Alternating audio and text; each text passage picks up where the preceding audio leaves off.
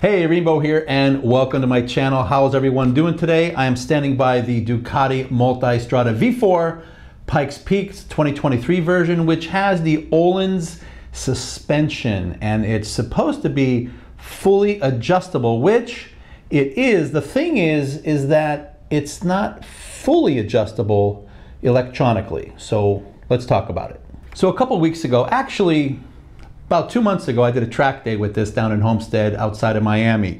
And one of the things that I wanted to do with this bike was I wanted to get my sag set up on this bike. And I did that by myself with the accomplishment of the Motool Slacker. This is the Motool Slacker V4. I paid for it. I'm not selling it. I don't get commission from it. If you want it, get it. But it's a great way for you to be able to check the sag on your bike by yourself with all your gear on to make sure you're set up properly. Anyway, so you get the sag set, and one of the things that I found out when I was down in Homestead was that my rear monoshock, I had an issue with the rebound. The rebound was really slow, and we wanted to speed up the rebound. Well, I got a little confused, and it was a little hard to do that. So let's take some time and let's go through the settings and kind of discuss what we have going on here with this particular bike. Let's do it.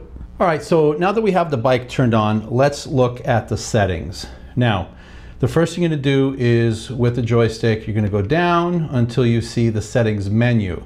Now, one of the things I want you to notice is that you are, whatever mode you're currently riding in is the mode that's going to show up when you go to the settings menu. So I'm gonna click on the settings menu and it's gonna say, hey, riding mode. Bingo, Sport EVO, okay? So let's look at Sport EVO. So, engine, default, and here are the two you want. You want preload, and the preload for electronic adjustment is just the rear monoshock only. This does not do preload in the front forks because that has to be done manually, all right? The next thing is going to be suspension, and suspension is going to be the front and the rear. So when I click on suspension, there's front and there's rear, and we're going to talk about those two right here.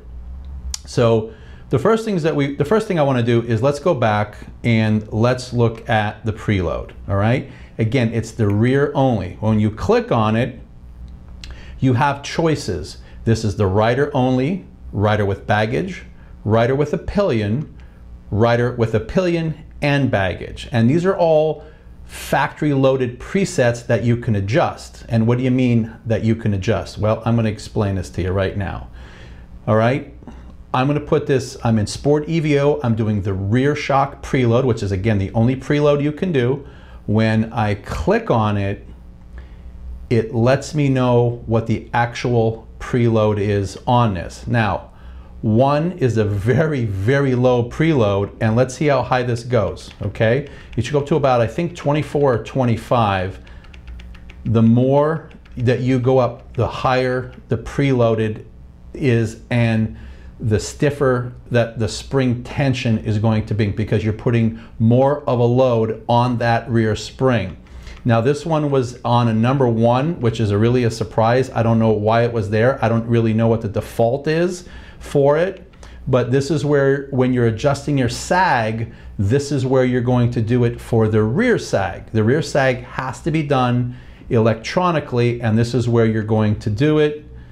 And once you find the number you want, you're just gonna click on it,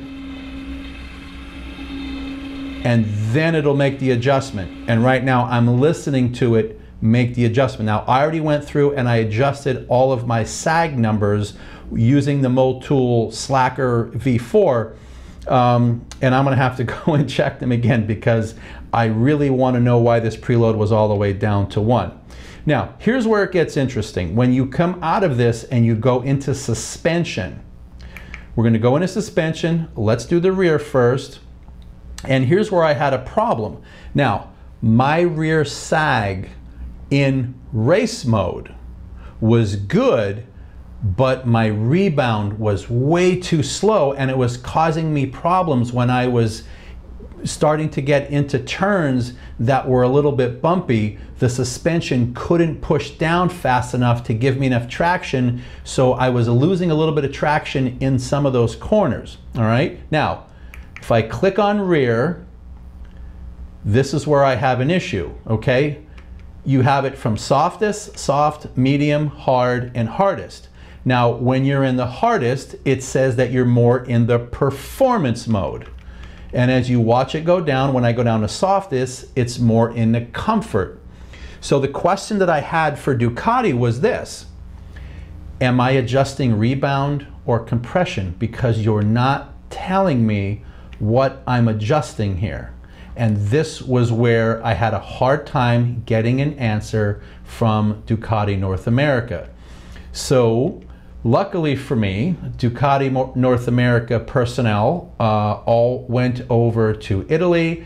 And when they were over at Ducati uh, headquarters in Bologna, uh, I got a text and I got some information on this. And here's the answer to this. The answer is, is that when you make these adjustments under right here, under front and rear for suspension, you are adjusting both compression and rebound. You're adjusting both. So the problem we have is that we are not really isolating the compression and rebound and this is where I have a bit of an issue. Now, what I found out is this. If you're having problems, for example, with rebound, you could go down unplug the monoshock and it is a uh, Öhlins TTX and you could make a manual adjustment to where you need it to be. And this is the problem that I had because this is what I uh, also found very interesting and a little concerning for me is that, and let's, let's just go to race mode here, okay? So I could, uh, let me just change modes altogether, okay? So I'm gonna go to mode, I'm gonna put it in race EVO because this is what I had when I was on the racetrack, okay? And now when I go to settings menu and I go to riding mode, it automatically sets, you know, goes to the one you're in. Now I could have just went to race EVO, but I wanted to put the bike in race EVO because I'm going to be showing you, some video of the uh, very slow rebound on the bike, okay? So we're going to go in race EVO. Now, this setting worked for me is I kept this around 14. So 14 was really good. I think this gave me a sag of about 28 millimeters. If I remember correctly, I can do a completely different video on the Motool. So that was easy. Um, the problem was when I went to the suspension and I went to the rear to speed up my rebound because the rebound was just way too slow. In order to speed it up, I actually had to go to softest, which puts it more towards comfort.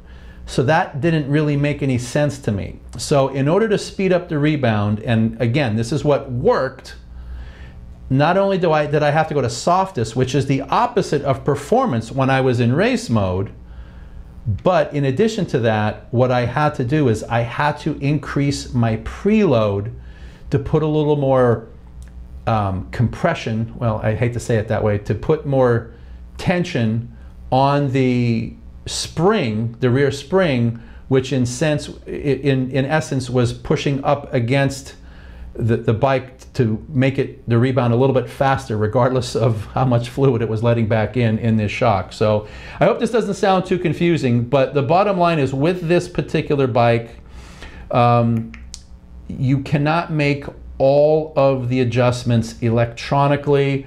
So let's talk about the front. Now, on the front of this bike, you are adjusting your suspension here for rebound and compression only, but it's a combination of both. So you really have to play with it, but you only have softest, soft, medium, hard, and hardest. So you have those five different settings for this. And there's nothing inside this setting where you can separate them out. See, I can click this all day long and nothing is happening. And it's the same thing with the rear. Once you get into the rear, you have the five settings of softest, soft, medium, hard, and hardest. You would think since hardest is more towards performance that that's what you would need, but that is not the case. If you go onto hardest, you will end up having very slow rebound on a spike, so you may have to adjust the rear rebound um, manually, and then you can plug it back in and you can make small adjustments from there.